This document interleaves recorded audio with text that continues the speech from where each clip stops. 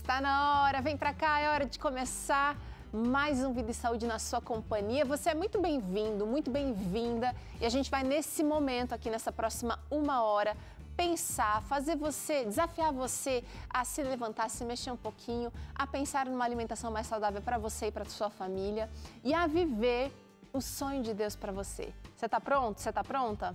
Então vem com a gente. Olha, no programa de hoje a gente vai entender o que é a ortorexia. Você sabe o que isso significa? Não? Então, olha, fica com a gente porque tem muita coisa importante para aprender sobre esse assunto. E tem estreia por aqui também. Hoje tem circulação ativa, nosso quadro com Tânia Santos, que vai ensinar essa modalidade de exercícios que ajudam na circulação sanguínea. Super legal!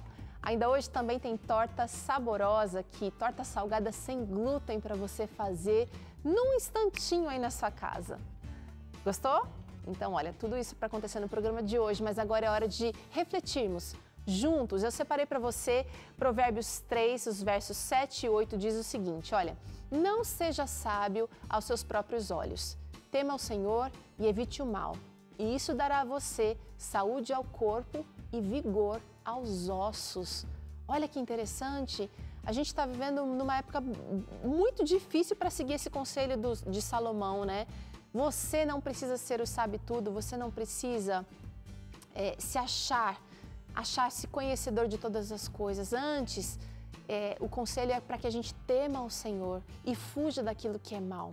E você vai conseguir com isso saúde para o corpo, vigor para os ossos, paz mental, relacionamentos e por aí vai.